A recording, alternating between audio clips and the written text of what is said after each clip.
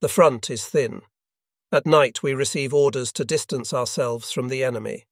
To the south, the Bolsheviks have succeeded at breaking deep into the front. Our right flank has been seriously threatened.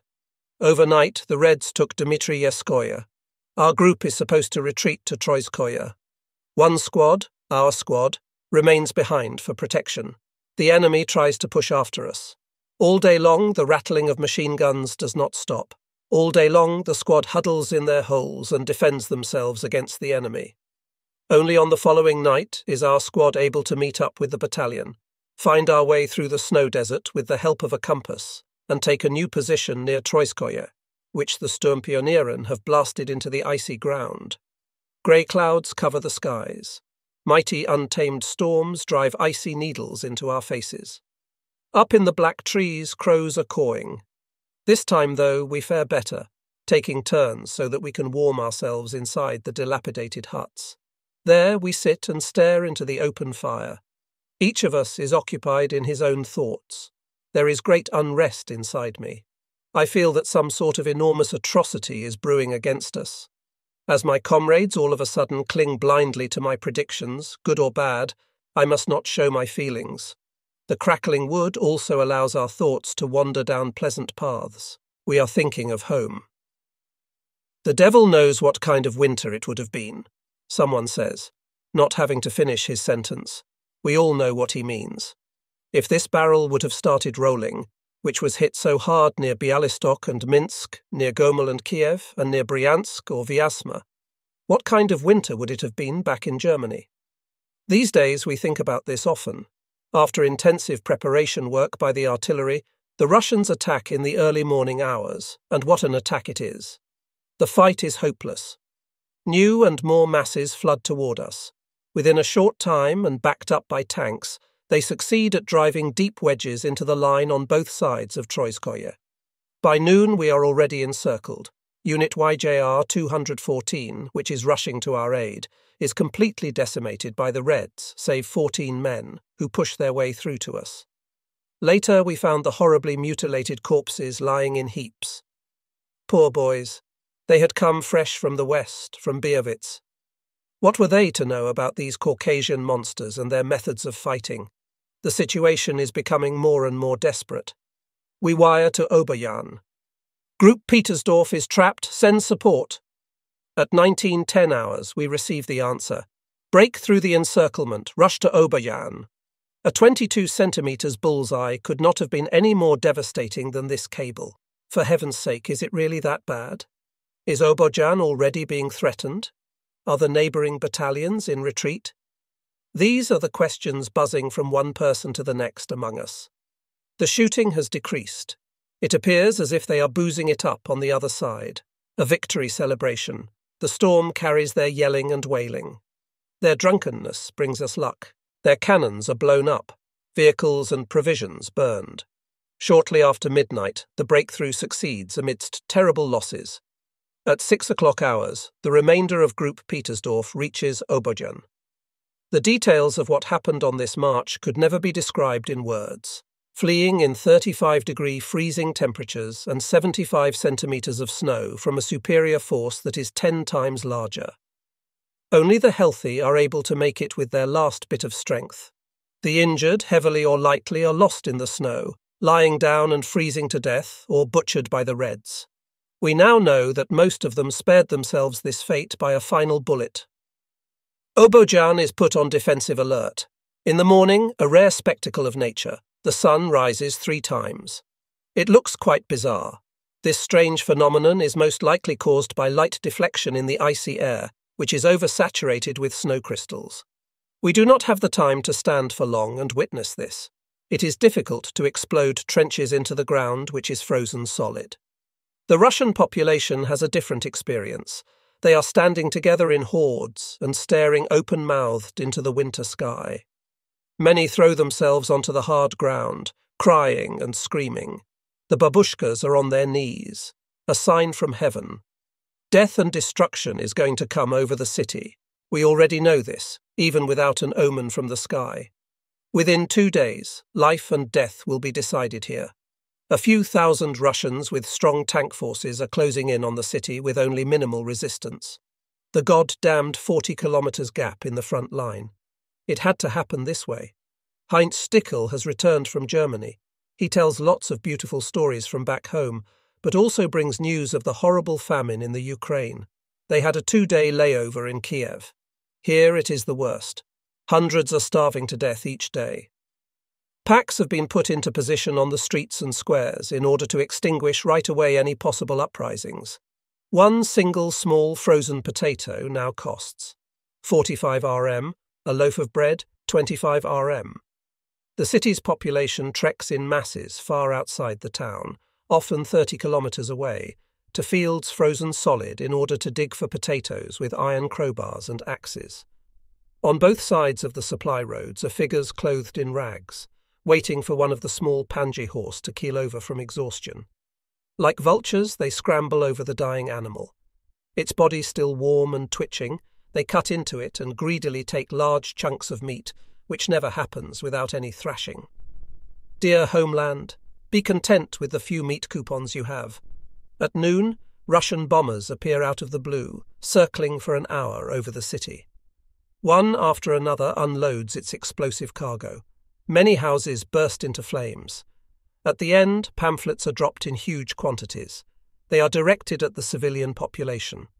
The contents Comrades, leave Obojan. We are going to raze the city to the ground. Hey, not so fast. What about us? We are still here after all. Nevertheless, a large portion of the population leaves the city with all of their belongings in hand, which is not a mistake. This way, we at least have some space. In the evening, we received the bad news that a large supply and medical echelon was attacked and destroyed 25 kilometres from here, near Yakublewo. This comes as a heavy blow. The railway to Bielgorod Charkow is the lifeline for 300 kilometres of the fighting front line. Its destruction by the enemy means the following no ammunition, no reinforcements, no provisions. During the night, we receive orders to form two reconnaissance units which are to be deployed in the direction of Yakublewo. After heavy bombardment during the night, we leave the city at dawn. At around nine o'clock hours, we reach the location of the attack. The wreckage of a large truck is still smoking. In the streets and ditches lie the horribly mutilated bodies of our comrades. The chest of a lieutenant has been ripped open. Intestines are lying in blood soaked snow. Only the heart is missing. We know from the events of the last few days that these savages, this Asian tundra scum, have eaten the hearts of the brutally slaughtered officers. Think of Karl May's Indian Wars. The driver's cabin of an ambulance is painted red with blood from the injured that have been massacred. Mail is scattered in the snow. Photographs of wives and children, the nicest Christmas present for loved ones on the front, are now soiled with blood. I read a small card with two small pictures attached to it. Dear Dad, this is me, your Inga, and dear Mama. I have grown so big. When are you coming home? Little Ing, he will never come home, your dad. Damn, tears are welling up in my eyes. We leave this place of horror. One of the reconnaissance units under Lieutenant Simons branches off to the right of the street. I myself and my ten men and two machine guns take off to the east. After a good hour of burdensome marching in high snow, we reach a miserable little village. No trace of the enemy. The locals are interrogated with pistols drawn against them. During the night, the Reds supposedly left this place and are lying in wait with a force of 500 men in the neighbouring village. There are approximately 800 metres between them and us. And even more important is the fact that there is a gorge in between. It would be insanity to try and penetrate this with my men. This much I know I must do, very carefully, I bring our two machine guns to the ridge of the gorge and place them into position. I am lying with my binoculars on a hill overlooking the ridge. Upon my signal, the machine guns suddenly bark out several rounds of ammunition. First, there is nothing to be seen, but then they come running out of their huts, all scrambling. The officers are cursing and screaming. It is total chaos. My boys are shooting well, and considering the great distance, an astonishing number are hit and collapse. But then it whistles back at us from the other side. It is high time to clear out. Two hours later, we meet up at the pre-arranged location with the other group, which did not have any enemy contact. Tomorrow we will come back and smoke out this gang of Schwind. We do not know yet, but how will this play out differently? Half frozen, we reach Obojan in the evening. On our way, we were attacked by Ratas. Unfortunately, two men were injured. In our quarters, there is lots of partying, for the supply office has given out suspiciously large amounts of liquor, the finest French cognac, Hennessy. Someone says, The Defence Ministry is having a sale, gentlemen, it stinks. A little later, we will all know just how right he was. Oh, Scheisse, today is New Year's Eve, and we are all buying ourselves one hell of a hangover. Maybe it will be the last one we have in this lifetime. In that case, cheers, comrades! This night is turning out very badly. Chains of red bombers arrive without let up. By morning, entire streets have been reduced to rubble. The mission to raze the city to the ground has begun. Near Dmitriyevskoye, Group Bargmann is defending itself desperately against a superior enemy force. Here, just like everywhere else, everyone is giving his all in order to protect Obojan. If the city falls, there will be a gap in the front for hundreds of kilometres, and no longer a connection between Charkow and Kursk. Access to the well built railroad would thus be lost. It is very unfortunate that the Bargmann battalion is missing its supply of shells. Fourteen trucks have been loaded with ammunition. The protection of the crews is taken over by Neckham and me, along with two groups. We are attacked near Kruzowo by strong tank forces. Those 52 ton tanks squash our vehicles like they were toy trucks, and the ammunition carried inside them explodes. The tracks of the armoured vehicles make pulp of the injured. With a heavy anti tank rifle, we shoot and ignite a medium tank just 10 metres away. Then they roll at us, and we are running half crazy with horror for 20 metres. The bullets are whistling behind us. Damn! I throw myself into the deep snow, hitting my head on a tree stump, bleeding like a pig. My God! The lungs are rattling, the eyes are caked with blood. I am at the end of my strength. Still, up again, running, only running. If I could just reach the forest over there. Where on earth are the others? Again, bullets are scraping my ears. From the right side, there are ten or more Red Army soldiers running at me. This is the end. Then suddenly there comes the thought. It is the last shot at saving this little life, this straw of consciousness. I run some few steps more. Again the bullets are coming at me. Then I throw my arms into the air, turn around on my own axis, and then I let myself fall down. The Reds arrive, step on my chest and stomach. They see the blood on the face and on the uniform. I can discern the words Krauj, blood, Miotwuj, dead, and Soldat Mushij, simple soldier. They are just about to empty my pockets or undress me when there is loud screaming and cursing from the tanks. It must be orders directed at these guys. Dusk is falling and they probably want to get lost. They let go of me, a kick with the foot for a farewell, and they are gone. I am saved, damn it, indeed saved. These pigs took with them my machine gun and my field hat. Luck must be with the simple soldier. I have been saved by my missing braids and EK band and the blood on my face. Carefully, I move into a shallow fold in the ground, which stretches all the way to the forest. Under the protection of the first trees, it is over, and it grips me, the crying of the nerves. Chest and stomach are hurting from the kicks of the Reds. Nevertheless, further on, just move on. It is terribly cold, and I cannot stay put here. Hypothermia comes quickly. I take my socks off and wrap them around my head in order to protect it against the cutting ice air. The night is moonlit, and by detour I reach Krasnikawa. Toward the direction of Obojan, the sky is blood red. The low thunder of the detonating bombs can be heard clearly. Where are the others? How many could escape the slaughter? These are the thoughts that keep going through my head and will not allow me any rest. The marching group has been cut to pieces. Neckham and myself are in Obojan. Supposedly there are still three men on their way here. We are the only survivors. Now I have been admitted into the club of the corpses. Eight men who were yesterday in the same situation as I was carry the honorary title of corpse. Now I am the ninth one. These are men who I will gladly take along on reconnaissance and frontline missions. Again the chains of enemy bombers arrive. It is the beginning of events to come. The daily order of the general who is with us and remains here with his staff is read Obojan will hold out until the last man has died. A general joins the defence line with his weapon in his hand. A hail to the Fuhrer and the men take up their positions. The main access roads are secured against tanks by mines. We form veils of shooters as well as advanced posts, which are now all occupied. Every available man has to lend a hand.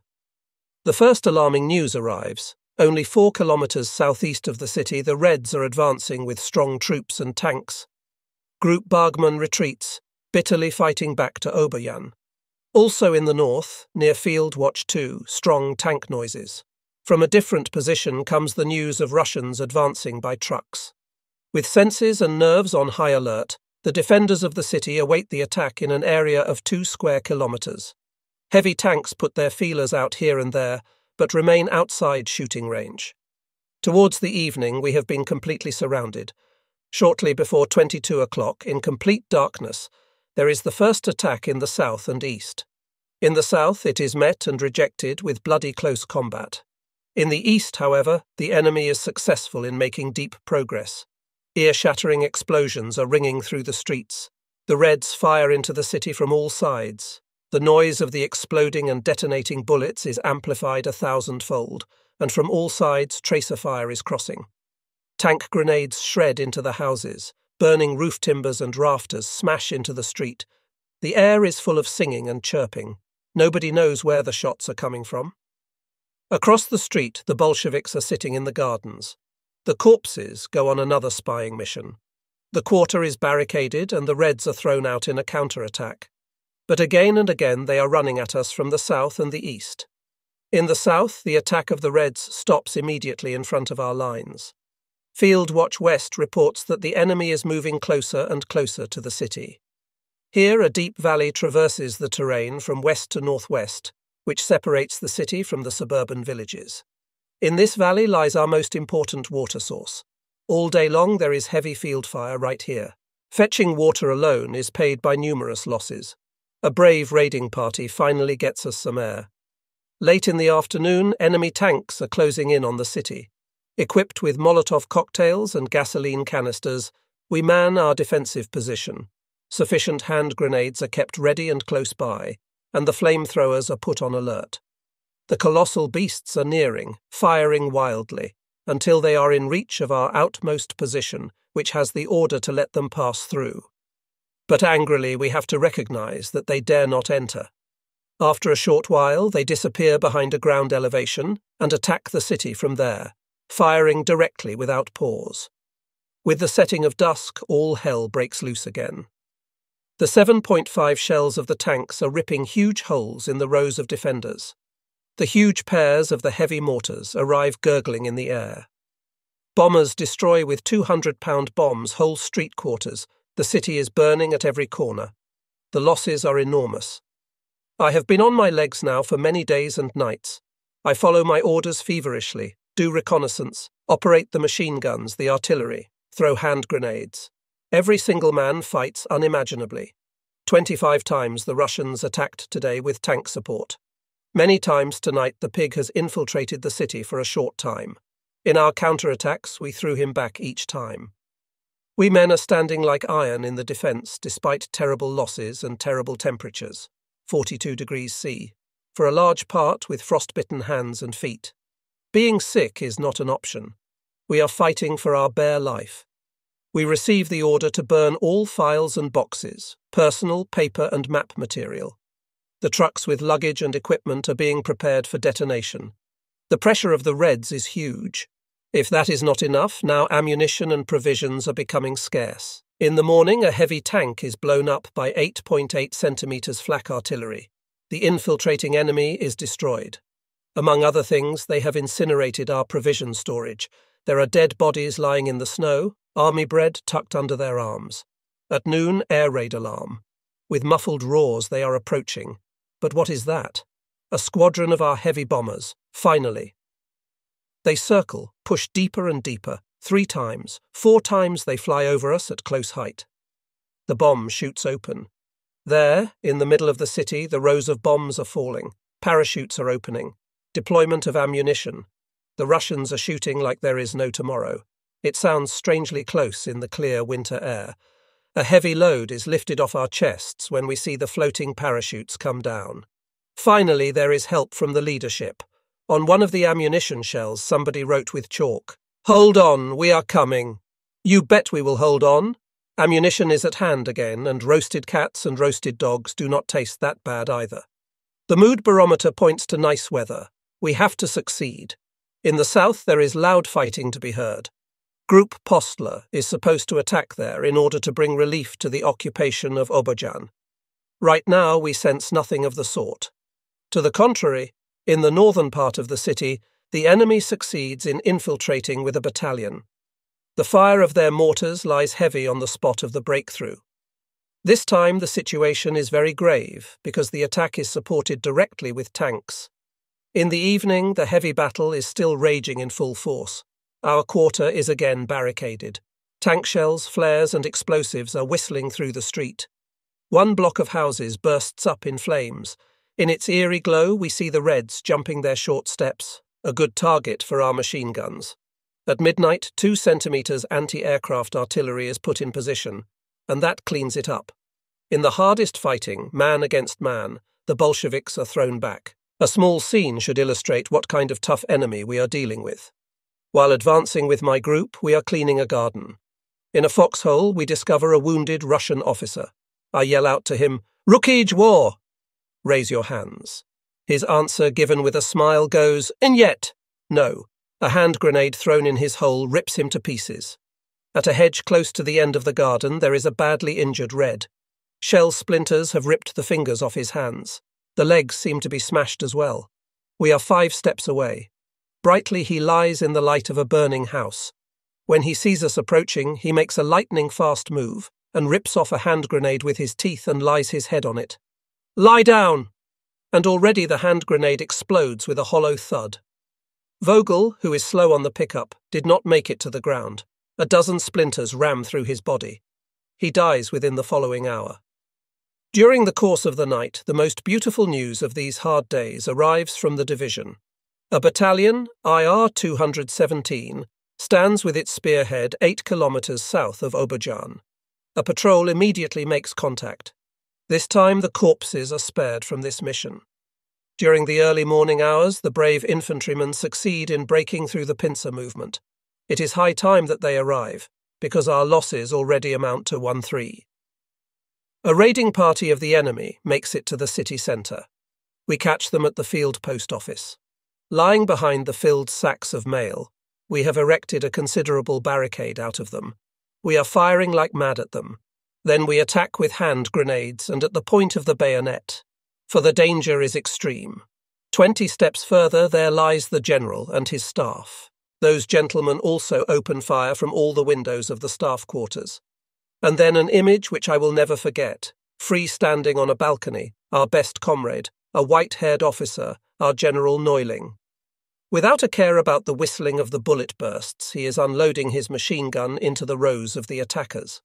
Suddenly, to the surprise of friend and enemy, there is loud rattling and hissing, and two or three times a terrible burst of fire comes from a cellar window to the right onto the street. Flamethrowers. The effect is terrible. Corpses burned beyond recognition are lying in black lumps on the street. The remaining Bolsheviks are fleeing in horror but our machine gun bursts reach the fleeing. The enemy patrol is destroyed completely. A little bit later, a heavy attack supported by tanks calls us to the northeastern part of the city. The red hordes arrive, screaming a shrill, Hurrah! Mortars and tank shells transform our defensive position, the Kolchos Yard, within the shortest time into rubble. Half of the defenders are dead or wounded. Our artillery fires at a 52 ton caterpillar but not one shell penetrates the thick armour plating. We want to despair. Now our second machine gun gives out due to a direct hit. Officer Nold is dead. The other two who armed it are heavily wounded. We demand reinforcement, but they cannot come through because there is heavy fighting in the west as well as in the east. Finally, after 30 horrible minutes, a tank and an assault gun arrive, and the latter shoots down a Charkow tank. We are advancing our counterattack, and what a miracle! The Reds are retreating. With the fall off dusk, we pick up chores, which we had missed, The whole area in the front is mined by our pioneers despite very dense combat fire of the enemy. The mess of noon today will not be repeated soon. Our losses today are damn high. During the night, heavy attacks of red bombers in rolling waves, strong mortar fire, some infantry attacks. All in all, it is quieter than during the last few nights, nearly too quiet. We are suspecting something devilish. The large cupola of the North Church, an extraordinarily beautiful building, seat of the important B position, is fired at and ignites. In a bursting rain of embers, the tower collapses. Bright as daylight, the fire illuminates the northern position, Every man, every single gun is clearly visible from above. Like hawks, the bombers bear down on our trenches. Their bombs brings us many losses. But the airplanes are bathed in red light as well, and our machine guns and the 2 centimeters anti-aircraft artillery take aim like wild at the good targets. God knows they succeed. A heavy bomber is hit and crashes burning into a field. Great is the jubilation, more even as the others are scurrying away. There is absolute quiet in the direction of Streliskaya, not a single shot fired from over there. The eternal attacks probably will have also tired out the enemy. They will be asleep over there, as they can, because they determine the pace of the action, not us.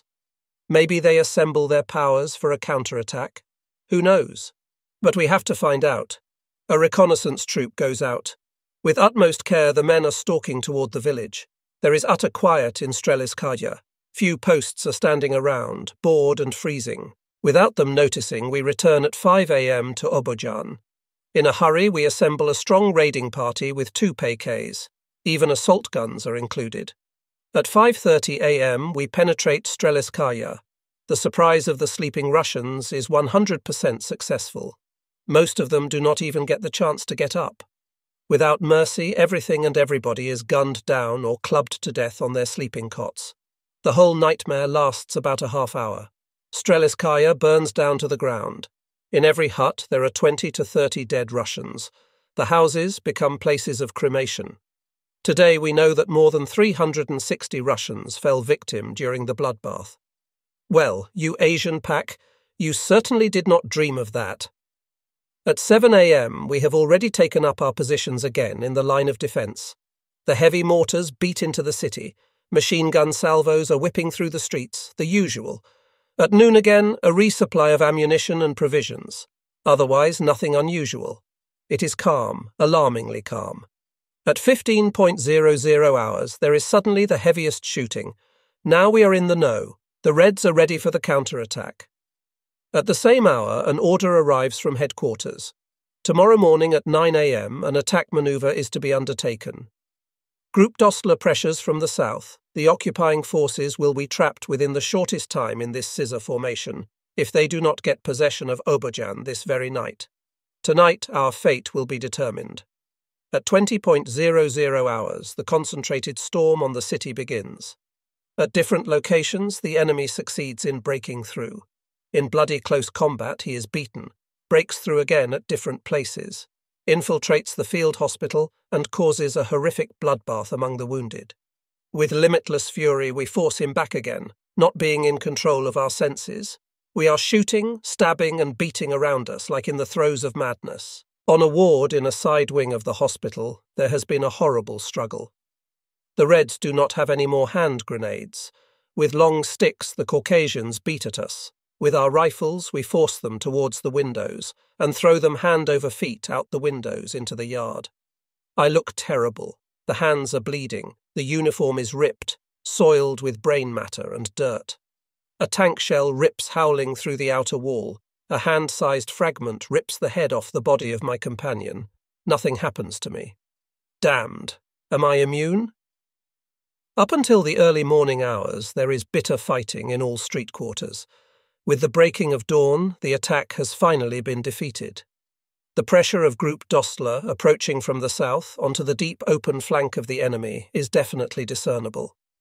Around 10 a.m., the enemy attempts another breakthrough in the north, but with the aid of our two storm cannons, this undertaking is stopped and squashed right in its inception.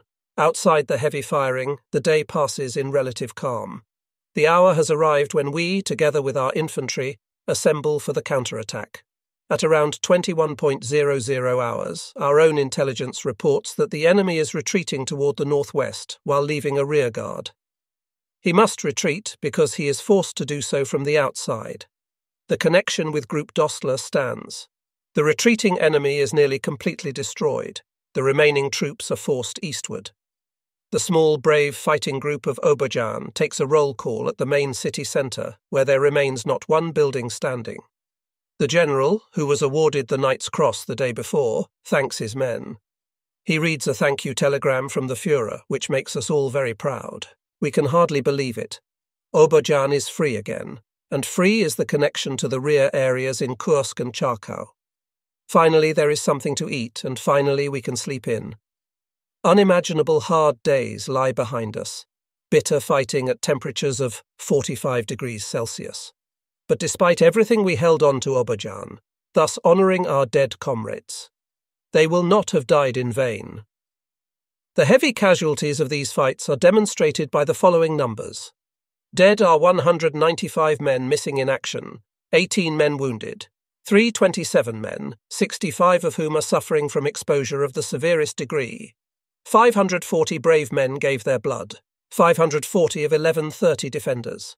I believe numbers speak louder than words. What the Russians had planned and their overwhelming manpower is demonstrated in the following order, which we intercepted from a captured lieutenant.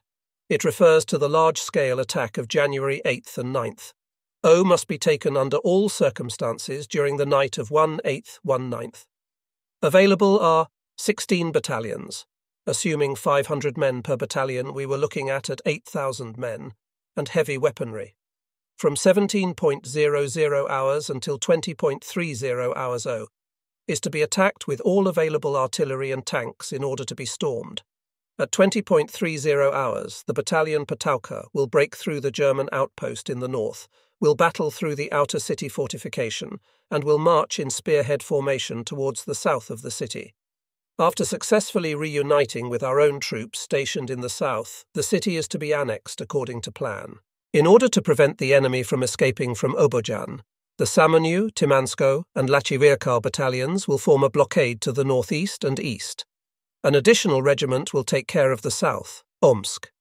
Battalions, Maxim Gorky 2 and 3, will traverse from the north to the northeast, thereby regaining the connection to those stationed in the south. Again, please refer to the Special Command of December 17, 41. This special command, issued by Stalin, which we have known about since Christmas, states this among other things. In the future, the only Germans I want to see are dead Germans. Oh well, those horrible days are over, and the Bolsheviks have had to reckon without their host.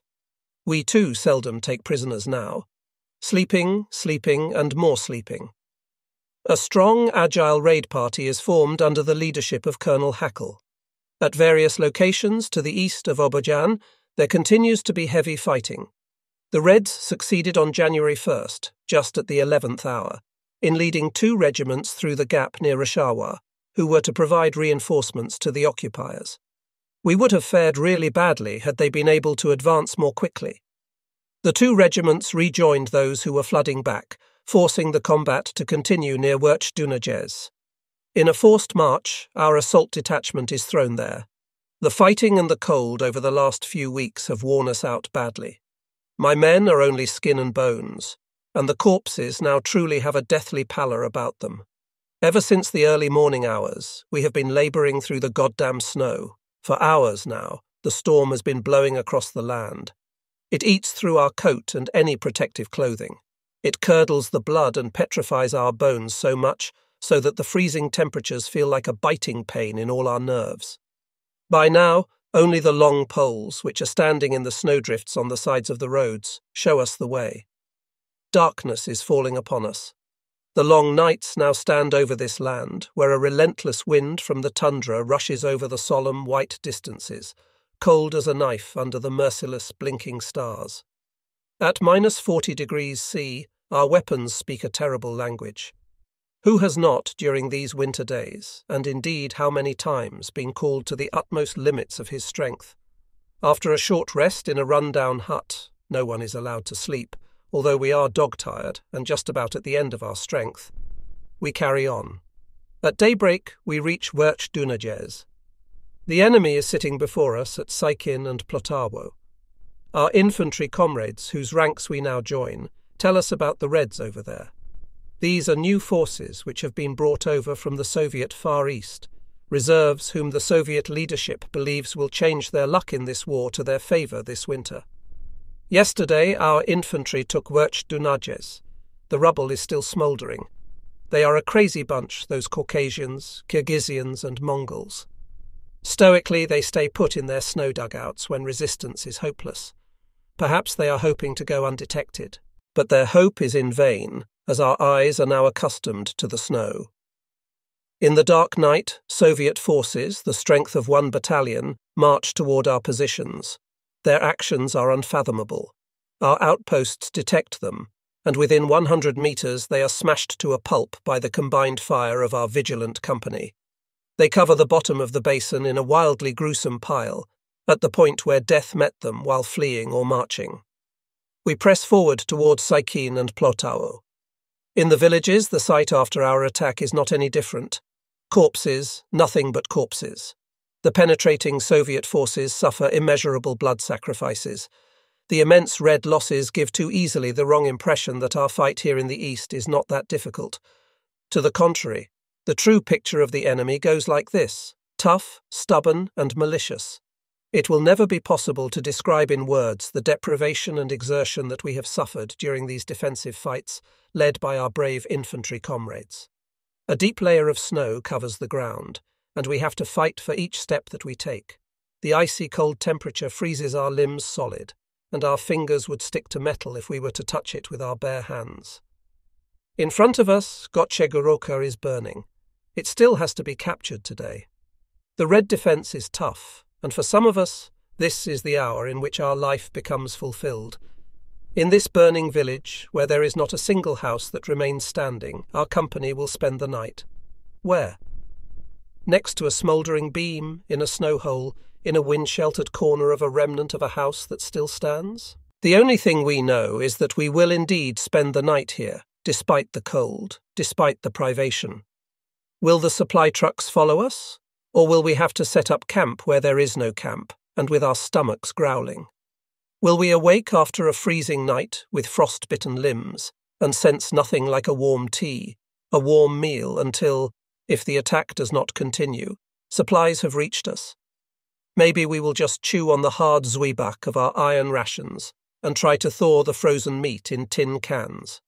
Orders take us to Jekaterinoka to secure the Rashawa battery. Approaching from the south, two regiments who are relying on Group Dossler are moving into the 40 kilometres gap.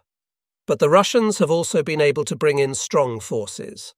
Bitter fighting takes place, the outcome of which is of absolute importance to Charkow and Kursk. Our own tanks are rolling behind us.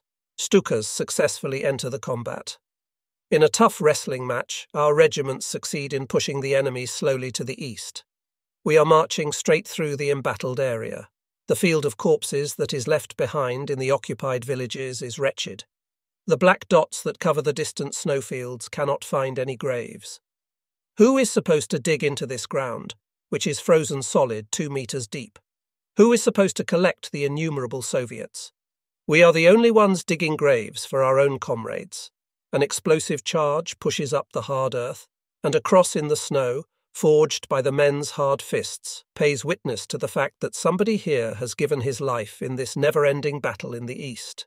And so the victorious battle rages on as the Soviet reserves bleed to death. We know that the resistance is not as strong everywhere else as it is in this particular area, where the Soviets want to force them to break through with all of their might. We are standing at the focal point of the Eastern Front, but at least we know that at this particular point there will be no decisive success by the Soviets. On the road at 40 degrees C, 1.5 metres of snow, and an ice storm. Toward the evening, we reach Jekaterinoka. As we are frozen solid to the bone, we set up camp as quickly as possible. Camping in the village, now that sounds cosy. A warm lamp and a crackling fire, a solid bed, a soothing drink, bacon and eggs. France, you are so far away. This is the reality, you push open the door and immediately have to duck because otherwise you would smash your head into a wooden beam. If you are lucky enough to pick your quarters, a hot stench assaults you, rests on your suffocating lungs and chest, and a sluggish cow, which has been lying on warm soaked straw, raises her head. Only then will you enter through another door into the actual living room, where now a briny odour surrounds you. But your nose has long since been dulled against all these smells, and even if it were only just months ago, you had thought it impossible to endure such emanations for even half an hour. You see quite realistically now that the stove is burning, and there is enough space for you and your comrades. In the flickering light of a candlestick, there is the familiar picture. Sprawled above the stove, a farmer is in hibernation next to the chickens, and a malenki, a small pig. Now, between these rags and the rubbish on the stove bench, there are a few children's heads moving, staring at you with large eyes. And even the children, too, appear to you like strange animals, dirty, crawling, and slithering, but under no condition human. God, if these were the only living creatures living in this house! The candle dies down, and now the house pets start to emerge from every corner. Bugs, fleas, and lice, the hours become torturous and suffering. Not a thought of getting some refreshing forty winks, as now they are all stuck to your clothes. Day after day you go lice hunting.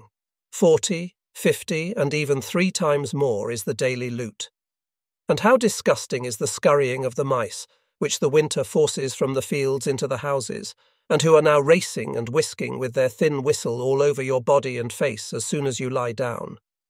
On this particular night, the mice chew fist sized holes into the pockets of my coat, which I wear while I sleep. There were small remnants of zwieback in the pockets, pieces of my iron ration. The next morning you get up, only to be confronted once again with the reality of how soiled and dirty this quarter is, how all the tools are covered in goop and full of dung, how disgustingly greasy the table is, how gummed up the benches are. And yet you are still grateful to have encountered such good quarters. In the villages on the front, there where our last security forces lie, the picture is a completely different one.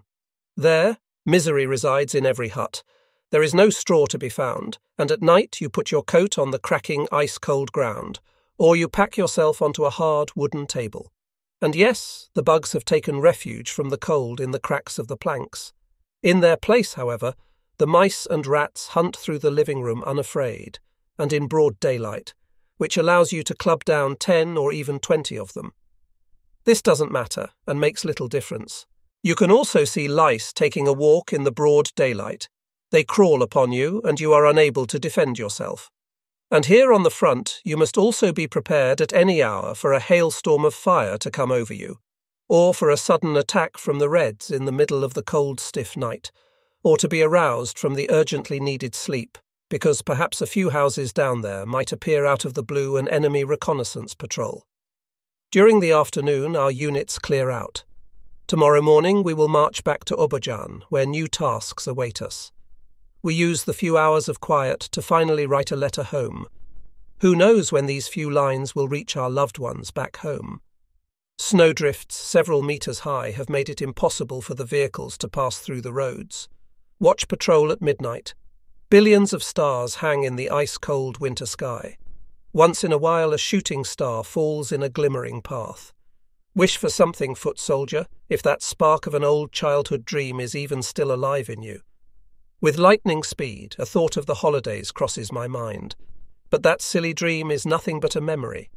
Those days were already over when the shooting star announced coming happiness. This war silences all such hope. Far in the distance, bright fire illuminates the sky. It returns often, and a few seconds later, the muffled sounds of the artillery rumbles over us. Over there, our comrades are confronting the enemy. At this very moment, they are probably ducking into a snow hole to avoid the howling song of the enemy's shells, or their bodies will rise like shadows out of the ground, storming forward to attack. Departure for Obojan. Strong snowstorm.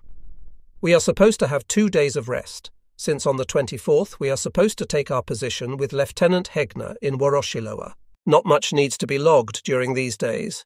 Weapons and equipment are inspected, and we catch up on a lot of sleep. When the mail comes through on the 23rd, there is overwhelming joy. At night, there is hardly any sleep because the heavy 100 pound bombs are thundering down on the city until the early hours of the morning. On our way to Woroshilowa, attacks from Russian fighters and bombers. At night, we set up camp in a piss poor, God forsaken village. Exhausted to death and half frozen, we wrap ourselves in blankets, sleeping, just sleeping. A telegram rips us from our uneasy slumber. God damn it. Is there no rest at all to be had by us? Strong enemy forces threaten the area around Woroshilowa. We have to march tonight. Again, out into the cold, fighting over and over, fighting. Is there anything else for us? Thank God the road is good and there are only small snowdrifts. The Sturmpioneren have been able to hold them open for the ammunition and supply convoys. These brave men, too, achieve the impossible here. We will never forget these quiet, faithful helpers and pathfinders in the truest sense of the word. Despite the brightness of the moon, we are unable to discern anything around us. The many dark spots along the side of the road, are they piles of sand which have been hauled in here from afar by the Sturmpioneren during the day and stored there, or are they dead horses? One really doesn't look there any more, as everybody is occupied with himself, and we have all seen enough horse cadavers, thankfully frozen, slashed by the sharp beaks of birds which now line the streets in the east. One hardly looks out over the vast plain, where on the horizon, between the forest and the icy river gorges, where the enemy's gun flashes as well as our own, light up the sky, a distant fire display toward which we are moving in a silent march. Still five kilometres to Woroshilowa. We know that when they say five, they mean ten. Misleading us is the trump card of these forced marches. We listen to shot after shot. In between the sometimes loud and sometimes quiet strikes, we drift off into our thoughts. We make it through an area of forest. We are wishing that we were finally at the front in our ditches and dugouts. Not only because the temperature has fallen below 35 degrees C. No, much more so because we know that the enemy is directly in front of us over there. Here on the road, he is everywhere, lying in snow holes and bushes waiting to ambush us, shooting from his traps and burying wooden mines along his way. Woroshilowa, a heap of rubble amongst a pathetic trench system, our new position. The daily assault from the shells does not allow the snow to stay on the ground for long.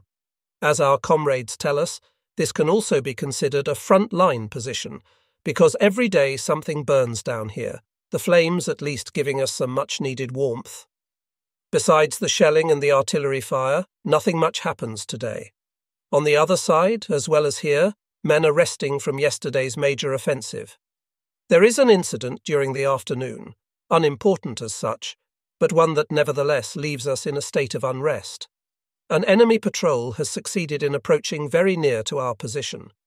We observe them unknowingly for a while until they throw a few hand grenades, fleeing before we are able to recognize them and fire. Far in the distance, we notice a few figures in snowcoats disappear and vanish. Nothing can be done to them anymore. The dry sputtering of a machine gun is much too late. The snow splashes up high from the impact of the bullets and dissolves into the sunlight. But the patrol has long since disappeared behind a depression in the ground. Us Frontschweiner indeed possess a sixth sense by now, and it is telling us that very soon all hell is going to break loose, and this mess is going to start all over. In the neighbouring area close to the Sturmpioneren, who are holding the position up to the road, the anxiety is obvious. And when the food service arrives with the evening soup, the machine guns next door are wildly sputtering again. We are in the middle of filling our plates, but are still keeping our ears alert. Anti aircraft fire now enters the developing battle, and shortly after, when the infantry rifles come alive and the first listening post returns with the news that something is happening over there, everybody drops their spoons, grabs their weapons and helmets, and goes over to the post where the men there eye sharply the encroaching darkness of night. In the meantime, the artillery too has heard that something is happening up on the front. Heavy shells are shuffling through the air and crashing down among the enemy's trenches. There is a hellish uproar when, to the left of the road, anti aircraft artillery, which has taken position there, starts sending their lightning missiles hammering and roaring toward the enemy. Now everybody knows. And because a breakthrough with heavy tanks, even to a small extent, concerns us all, there is a sudden, widespread, and silent abandonment of the evening soup. The company does not need to wait much longer for the hard work to begin. It must begin. How is it that our fingers become stiff at the trigger and will not curve through at the decisive moment? Yes, so much so that some even lower their weapon or machine gun, confused, only to stare ahead, not knowing what is happening to them. Damn! Is this possible? These troops are Feldgrau groups, companies who flood through the enemy ditches, waving and calling in their German helmets. Is this possible? Are we being fooled by a nightly spook? But we are all fully alert. A lieutenant colonel, the leader of the infantry, jumps out of the trench. Stop! What is the password? Which regiment? In the meantime, we have to adjust our scopes with trembling fingers 200, 150, 100. But nobody from the other side gives an answer, which results in a rush of men who are storming, waving, and calling. It's at that moment that the leader of the company jumps back into the trench and gives orders to fire with thin lips. We are shooting with clammy fingers, shooting faster and faster with the fixed sight. In a second, the mirage is over. The calls and orders from over there sound blurry and strange all of a sudden. These aren't German men or German commandos. No German infantryman jumps like that. Finally, a united defensive fire hammers into the advancing masses, despite the Feldgrau uniform and helmets. We shoot into them with intense and rabid bitterness. If only no more new masses, who are no longer in German uniforms, would swell over the wide field of snow. Hundreds of Soviets scurry at us, clumped together, and then break apart to be shot down. With new ones continually breaking away from their positions, these are no longer companies, these are battalions and regiments. How long will we be able to hold out? Is there enough ammunition? How is our supply of hand grenades should it come to the bitter end? But don't dwell on unnecessary thoughts. Stay calm and hold out. All through the night the fighting continues. Their reserves seem to be invincible. Only this morning brings some calm along with reinforcements. A rifle company arrives and, despite their exhausting march, immediately takes position on our thin line. Strong patrol activity on both sides. The Reds are preparing for new attacks, heavy losses from the low altitude attacks of the Bolshevik fighteries and bombers. Late in the afternoon, more reinforcements arrive infantry and 2 centimetres anti aircraft artillery. After the attacks during the night, which were quite strong indeed, it is now calm. The Reds must have suffered tremendous losses. Corpses are lying in heaps in front of our positions. Our 8.8 anti tank cannons destroyed three tanks. One of them was an extra heavy one. Reconnaissance units return and bring news that the enemy's tanks, along with their infantry units, are retreating to the northeast. A counterattack is ordered for tonight. At the same time, we receive orders to march to a different sector. Scheisse, it is always the same. When the danger is over, we are no longer needed. It is always the same fool's story. I am curious which fire we have to put out now. Shizyojedno! Never before have I been so aware of the unimaginable vastness of the Russian countryside than now, when the forests and fields are covered by a huge white shroud. For the first time in a long while, the ice cold whistling is quiet today. It isn't snowing, and thus for the first time we are able to see the incredible vastness of this space. The eye reaches the horizon without being able to stop at one point.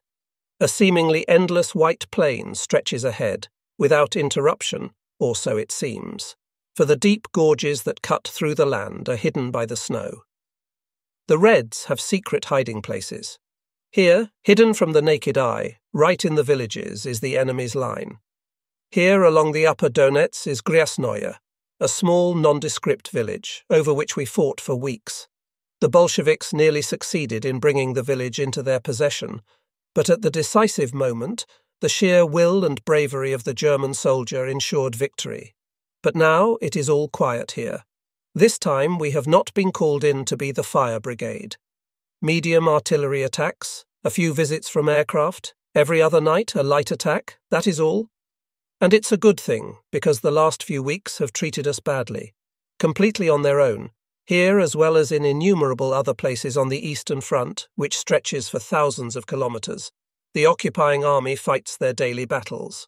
The village with its sad huts is our chateau, which we defend together with a company of infantrymen. Last night we had to defend against a particularly vicious attack from the Reds. There was bitter close range combat, and two good comrades were killed in action. The company leader of the infantrymen, a World War I veteran and an old fighter of the Eastern Front, tells us about the old times. The present war is much more brutal than the Great War 25 years ago, for we are now encountering a fanatical enemy over there on the other side. No one surrenders. Both sides will fight until the last bullet. More than anything, though, is us being overcome right at this moment due to the vastness of the space, by a feeling of utter abandonment. Confidence in our own power is the only thing that gives us hope for victory. We can hardly count on help or support from our neighbours. We only possess the villages, while the fields in between them, where night after night, day after day, tough battles are fought, are a no man's land. There is no well defined positioning system like there once was during the Great War, because the ground was already hard as stone when the German advance was halted. Due to the lack of a contiguous front line, it is possible for the enemy to circumvent individual positions and attack us from the rear or from our flanks. To this, add the difficulty of the terrain, which is traversed by numerous gorges, offering favourable circumstances for the attackers. All of this causes our nerves to be strained to their limits, as every night we experience numerous house battles and ambushes. Much too often, just like here in Granoi, we have to refrain from using barbed wire barriers because the villages are so spread out. Relentless is the battle to seize each individual house, since those pathetic huts are the only protection from the cold. This is also why such dwellings are equipped on their sides with firing ports, so that as soon as the enemy attempts to infiltrate the village, our fierce fire is able to assault them from all sides.